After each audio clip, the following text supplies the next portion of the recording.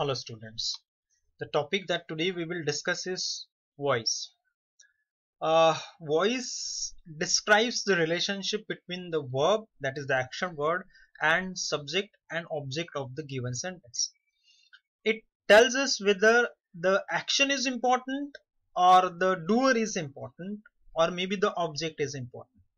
For example, 26 candidates were recruited here 26 candidate this object is highlighted. That's why it is passive voice or Tata consultancy recruited 26 students. So Tata consultancy this doer is highlighted over here. So voice is something that talks about the relationship between or among verb of the given sentence subject of the given sentence and object of the given sentence so when we are going to talk about voice, there are few things that we must remember. That is subject, object, verb and the tense of the given sentence. So unless and until we know all these four things, we won't be able to uh, change active voice to passive voice or maybe passive voice to active voice. So voice is something that talks about verb, subject and object and their interrelationship. So active voice is when when the subject is given importance and passive voice is when when the object is given importance. Sometimes it can also be said that when the verb changes according to the number of subject and the tense of the given sentence that is active voice.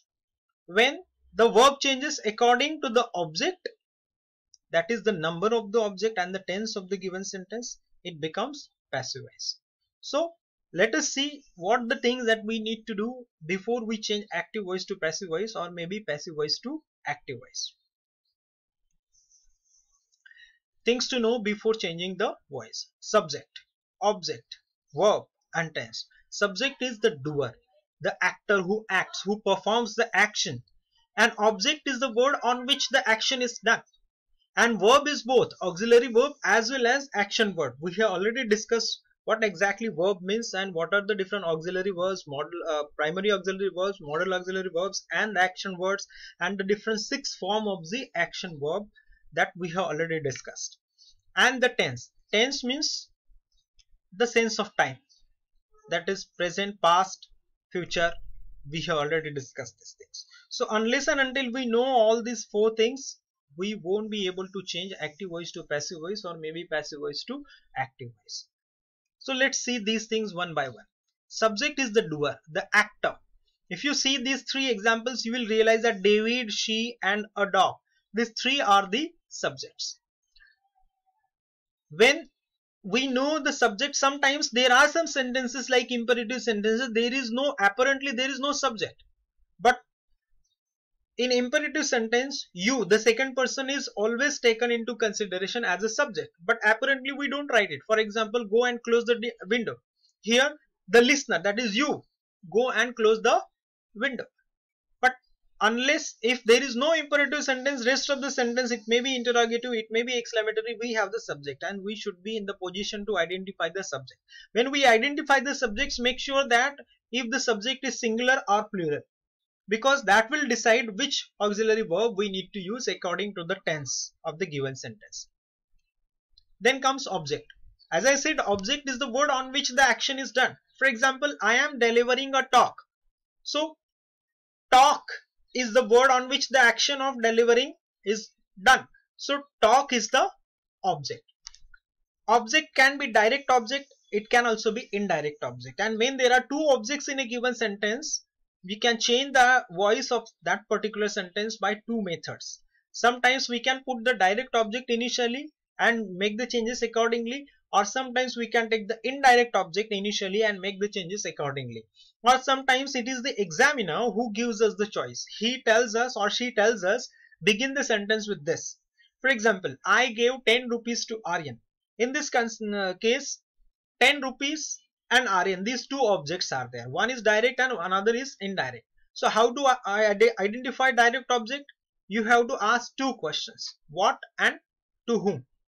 Answer to the question what is direct object and answer to the question to whom is indirect object. For example, I gave 10 rupees to Aryan. what did I give to Aryan 10 rupees so 10 rupees becomes direct object whom did I give 10 rupees Aryan. So Aryan becomes indirect object. So in this case we can change the voice by two ways. So she sings devotional songs. Again when you identify the object make sure that you understand whether it is singular or plural because that is going to help us in order to use correct auxiliary verb. It may be to be it may be to do or it may be to have. So according to the tense and according to the number of the given object we have to use auxiliary verbs so please pay attention to the number of object for example cookies plural songs plural the next one is verb when you identify the verb, you must be in the position to identify the auxiliary verb as well as the action verb. And when you identify auxiliary verb as well as action verb, you would be in the position to identify the tense of the given sentence. For example, David composed a nice poem. Composed is the auxiliary verb. She sings devotional song. Sings is the verb. A dog was eating. Was eating is the verb. Was is the auxiliary. Eating is the action word. Composed, sings, eating, these are action words. Was, auxiliary verb. So please pay attention to this. Depending on this, you can get the tense. Sometimes you identify David composed, past form of the verb, so simple past. Sings, S form of the verb, that's why simple present tense. Was eating, was to be past tense form, so past. Eating, ing form of the verb, so continuous so it becomes past continuous tense so please identify the tense also now let's see the changes active voice and passive voice these two sentences are there and as a student as an observer or as a listener of this particular video you should be able to identify the different changes because these changes you are supposed to do when you are asked to change the voice of the given sentence sometimes they may not tell you which voice the sentence is in so you should be in the position first of all to identify whether it is active voice or passive voice and accordingly make the changes. If it is active voice, sometimes it is easy to make it passive. But if the sentence is already in passive voice, you have to go reverse. So, and this is little tough because this is what most of the time we learn that what happens when we change active to passive. But we fail to uh, recall what to do from passive to active and that's why if you really want to work please make sure that from passive voice you go for active voice reverse game and that will give you a good sense of understanding of voice. And if you can very easily change passive to active you are very good in voice. Let's see. David composed a nice poem early in the morning. Three things you should identify. Subject verb and object. Verb you should be able to identify the tense also. David composed a nice poem. And rest of the words or the complement or rest of the words that are there in a sentence you can put them initially finally or medially. That makes no difference because we are not going to make any changes in these words. We are going to make changes only in subject verb and object. So let's see what the uh, what are the different changes. A nice poem was composed by david. Please pay attention to these changes. The a nice poem the position of this particular object is changed. We have taken it initially. Then we use was. Now you should identify and understand this. This is very important and this is where most of the students make uh, uh, uh, commit error. The error is they may not use sometimes they may not use the auxiliary verb or sometimes they use it but they use it incorrectly. So why was reason is here? David composed this is simple past that's why to be is past tense form. But there are two past tense forms of to be that is was and were. So why only was? The reason is here. Nice poem. This is singular. That is why I, told you initially that you should be in the position to identify the number of subject as well as object. This object is in singular form that's why was. Had there be poems it would have been were and past participle of the action word that is composed. Then we have used by as a preposition we know the function of preposition so by is put before the subject now the position of subject has been changed david you should identify this and rest of the things early in the morning you can put it in initially also like early in the morning a nice poem was composed by david or a nice poem early in the morning was composed by David, you can put it anywhere. That makes no difference and we have not made any change in this particular complement of the sentence. Let's see another example to identify. She sings devotional songs. She is the subject, sings is the object, devotional songs is the sings verb, devotional songs is the object. Again it is in plural. And the tense is simple present tense. And that's why are devotional songs are sung by her. So please pay attention to this. Mostly the auxiliary verb let's see the changes. Uh, this is whatever i told you. Object has taken the place of subject many times i have heard students saying that object becomes subject or subject becomes object. No.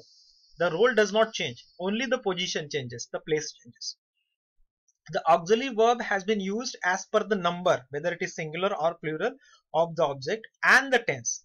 Are because it was simple present tense was it was simple past. So please pay attention to this past participle form of the action word has been used. Though we are using past participle form of the verb in this particular voice we are not changing the tense. We are simply changing the structure of the sentence. So make it a point. The tense is not changed. Preposition by has been used before the subject. So this is another change that that has taken place. Nobody will ask you what are the different changes that take place from active to passive but when you are actually expected to change the voice of the given sentence you should know these rules and when and how will you know these rules when actually you will practice it hard see by just mugging up and by this rote learning nothing is going to happen so things to take note of while changing the active to passive or passive to active. Identify subject, object, verb and tense of the given sentence as I said initially. Pay attention to the number singular or plural of object as well as subject. Make sure to use past participle form of the action verb. Yeah, this is a little thing that you must pay attention to. As I said, the subject can be a noun as well as pronoun and if the subject is personal pronoun like I, you, he, she, it, we then they are changed into objective case. So what are the objective case? I becomes me, we becomes us, you remains same, he becomes him, she becomes her, it becomes it, they becomes them. So this is how one good chart that I came to know from this particular website. They have given you all the tenses and the modals if they are used in active voice and how they are used in passive voice whatever rules we i have discussed with you guys you can apply those rules and get the things changed rest of the sentences like imperative exclamatory and interrogative how they are changed into voice uh, passive voice we will see in next video. Till then happy learning